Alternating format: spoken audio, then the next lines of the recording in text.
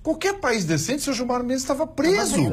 Estava preso. Os juristas disseram que o, o, o STF está em pé de guerra. Sim, não, o, o problema que está acontecendo lá, olha, eu não esqueço aquela frase do Joaquim Barbosa que disse na cara do Gilmar Mendes, apontando o dedo é. o senhor vai destruir a justiça brasileira. E ele está é conseguindo. Tá o STF deveria ser o guardião da Constituição. Uhum. Não existe amparo legal para essa decisão do seu Lewandowski. Exatamente. A esquerda pediu para o Lewandowski dar uma liminar e bloquear tudo, uhum. ele deu.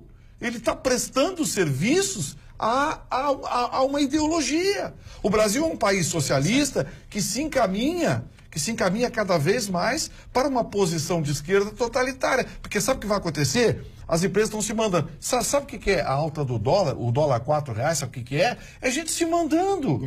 É, é dólar saindo por dentro, por fora. Quantas? O Marne deu aqui essa semana. 13.400 empresas fecharam suas portas. Eu vou dar um outro número: 77 multinacionais foram embora do Brasil nos últimos 24 meses.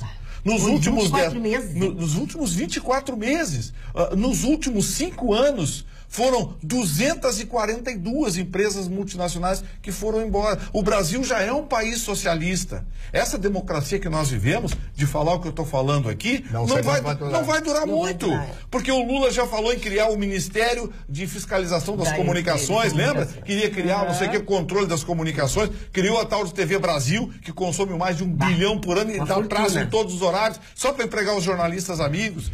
Então, assim, nós estamos indo para um caminho perigoso, as pessoas não estão se dando conta. Aí tem um boboquinha que é funcionário público da prefeitura de Triboboca do Norte, ganha dois mil cruzeiros e pensa: ah, não, mas eu quero as minhas vantagens, eu quero meus aumentos, eu tenho aqui a garantia que. Vai acabar o dinheiro. Vai acabar, porque na Venezuela os funcionários públicos estão ganhando 4 dólares por mês. Porque não tem dinheiro. Não tem. A Grécia quebrou por causa disso. Lá eles tiveram que aplicar um redutor de 30% sobre o salário da máquina pública grega para a Grécia poder receber dinheiro de outros países. Da Alemanha. Para poder pagar dinheiro, para poder pagar os caras para comer. Então, assim, se vocês não estão se dando conta, esses mesmos togados que estão lá em Brasília ou eles dão um jeito de economizar o saláriozão deles e mandar para a Suíça em conta numerada, ou eles não vão ter o que comer também. Porque não vai ter dinheiro para pagar essa gente. E aí eu vejo as pessoas vindo do microfone. Não porque temos, porque não sei o quê, porque o, o, o, o, o totalismo americano, porque a tirania americana, porque não sei o quê. Sabe? As pessoas não, não têm consciência do que está acontecendo.